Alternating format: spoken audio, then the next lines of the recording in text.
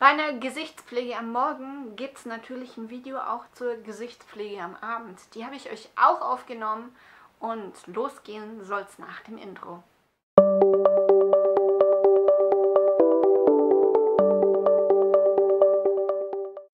Hallo, ich bin Coco vom Kanal Die kleine Coco und wir sprechen heute über meine Gesichtspflege am Abend. Falls du das andere Video nicht gesehen hast, würde ich dir das gerne unter das i legen. Guckst du einfach mal hier. Und ähm, da findest du mein letztes Video. Und auch unter dem i, da lege ich dir eine Playlist drunter über die Produkte, die ich heute hier in äh, dem Video verwende.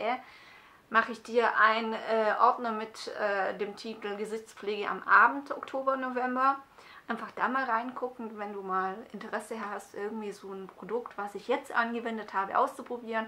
Ich habe zu fast allen Produkten, die ich gerade verwende, Videos gemacht, außer die neuesten natürlich. Und ich würde jetzt einfach sagen, wir legen jetzt mal los. Und ähm, ich habe ein schlaues Büchlein wieder dabei. Und am Abend mache ich es meistens so, dass ich eben ähm, das Öl verwende, entweder von Balea oder von Isana. Momentan habe ich das Isana auf. Was ich am Isana nicht mag, ist der Duft. Das Öl an sich ist schon gut, es ist ein bisschen flüssiger, aber ich hasse den Duft, wie manche Leute Vanille oder Kokosnuss hassen. Äh, nee, wenn der Duft nicht wäre, wäre es, glaube ich, echt am allercoolsten. Aber äh, es ist noch nicht mal so dieses typische Rose, sondern das riecht irgendwie, habe ich immer so ein bisschen das Gefühl, wie Petsbonbons auch keine Ahnung, es erinnert mich irgendwie dran, ich weiß auch nicht. Und das verwende ich eben, weil ich tagsüber Sonnenschutz drauf hatte, wasserfesten Sonnen Sonnenschutz. Und äh, der muss natürlich runter. Und das am allerbesten mit Öl. Und die Öle eben von Balea oder Isana, die sind erstens günstig, zweitens sind die super zum Runterkriegen, da hat man überhaupt keine Probleme. Und äh, ich werde mir auch das wieder nachkaufen. Aber an das Balea komme ich eher. Und das ist eben wegen dem Duft her, finde ich das so ein bisschen, ich will nicht sagen schrecklich, aber äh, ich mag den Duft halt einfach nicht. Und ich bin hergegangen und ähm, mache das inzwischen wieder mit meinen äh, Tüchlein weg. Das sind Bambustücher. Und ähm, weil Mikroplastik äh, von äh, Mikrofasertüchern natürlich weggeht und die aus Bambus sind gar nicht mal so übel und funktionieren für mich auch richtig gut. Ich habe aber auch noch alte Mikrofasertücher, die verwende ich natürlich auch, aber kaufe mir da keine neuen mehr. Und es geht da, in der Kombination funktioniert es ganz gut, einfach äh, übers Gesicht gehen und die ganze Sache äh, abtragen. Besonders wenn man geschminkt war, ist die Kombination mit dem Tuch am allerbesten. Weiter geht's mit einer Säure, entweder AHA, BHA oder PHA. Und hier ist es AHA und BHA. Ähm, das ist das Face Theory Produkt. Äh, könnt ihr euch noch daran erinnern, an den Einkauf, wo die Flasche ausgelaufen ist? Ich habe den Support angeschrieben und das komplette Geld von der Flasche zurückbekommen. Das ist echt mega gut. Also habe ich das Produkt eigentlich geschenkt bekommen, bloß weil ein kleines bisschen aus der Flasche gefehlt hat. Mega gut. Also richtig, richtig gut. Und ähm, das verwende ich am Abend, weil morgens verwende ich meistens Retinol. Wenn jetzt mein Retinol mal wieder leer ist, kann ich sowas auch morgens mal anwenden. Aber für den Sommer ist es beispielsweise gar nichts, ne? weil eben Säuren eben die Haut nochmal extra reizen. Und deswegen packe ich mir das meistens immer in die Abendroutine rein. Das ist halt ganz einfach. Wenn du einen Sprühkopf hast, machst du den oben drauf. Wenn du es so wie ich machst, einfach in die Hand rein und ein bisschen äh, aufs Gesicht auftragen. Weil wenn du das erst in ein Pad aufträgst, der Pad saugt ja extrem viel auf. Das wäre mir einfach zu schade. Da bin ich echt zu geizig, muss ich sagen. Hierzu habe ich auch ein extra Video gemacht. Das findest du in der Playlist unter dem i, falls du dich dafür interessieren müsst. Ich finde dieses Produkt richtig gut. Das kann man super easy auftragen. Aber ich muss halt auch sagen, ich habe jetzt äh, hier drei Säureprodukte in der Warteliste. Die würde ich gerne mal anfangen und bin ganz froh, wenn das Produkt hier endlich mal leer ist. Isana Serum wird äh, nachgekauft, das ist leider leer. Äh, das habe ich aber auch in Windeseile leer gemacht. Ähm, ich würde gerne dieses Urea Serum mal ausprobieren. Das ist mehr wie eine Creme, wie eine leichte ist. Gut für die Feuchtigkeit, für die Haut. Äh, das ist inzwischen vegan. Das war anfänglich war es nicht vegan. Das probiere ich glaube ich demnächst aus, wenn ich zum äh, Rossmann komme. Aber das äh, Age Performance Serum, das nehme ich auf jeden Fall auch wieder mit. Das habe ich das ist, zwei, das ist die zweite Flasche. muss ich da noch mehr dazu sagen. Das hat nicht viel mit Age zu tun.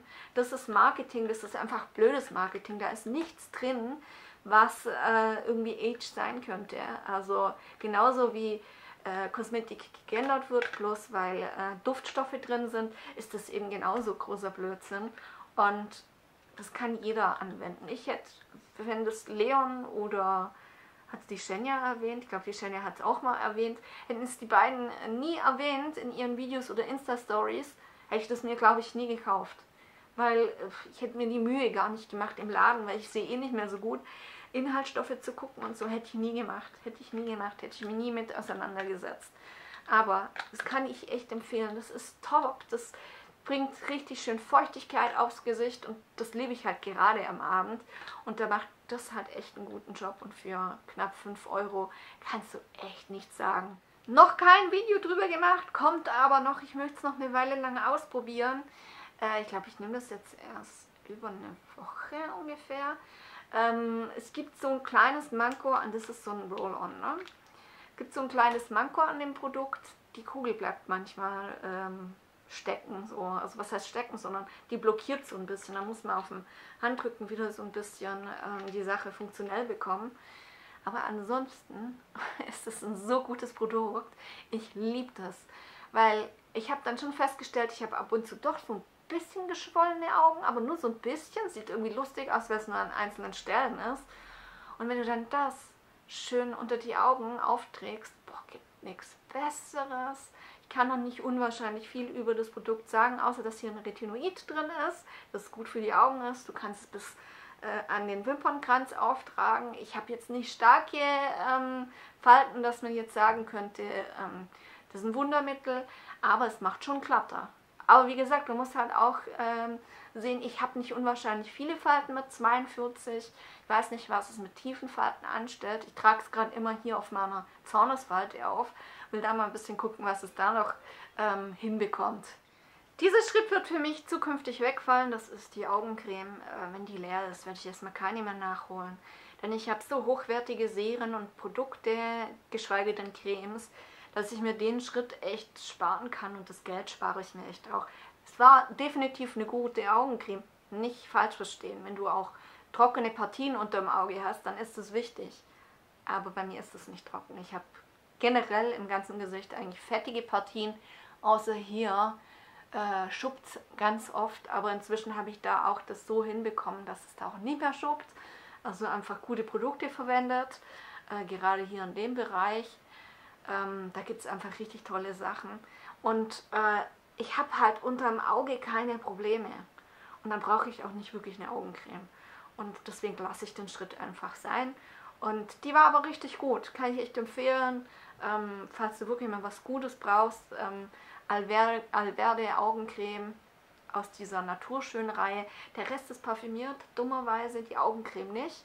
Und die ist auch von der Konsistenz her richtig gut. Also die kann wirklich was und ist nicht schlecht. Nächster Schritt ist das Face Theory äh, Ölserum. Und da dachte ich wirklich, das könnte was für mich sein. Ich probiere es jetzt trotzdem mal aus. Ähm, habe das halt missachtet.